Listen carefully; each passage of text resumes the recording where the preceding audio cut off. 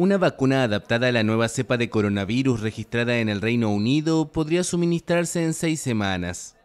Así lo aseguró el martes uno de los cofundadores del laboratorio alemán BioNTech, que junto al estadounidense Pfizer produjo la primera vacuna aprobada internacionalmente contra el virus.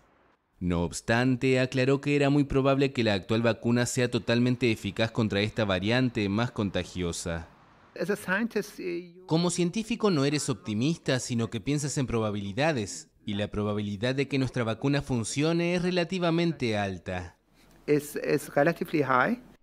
El responsable argumentó que la vacuna concebida junto a Pfizer contiene más de mil aminoácidos y solo nueve de ellos mutaron, lo que significa que el 99% de la proteína es siempre la misma y agregó que dentro de dos semanas BioNTech prevé publicar las conclusiones de estudios llevados a cabo con esta variante del virus.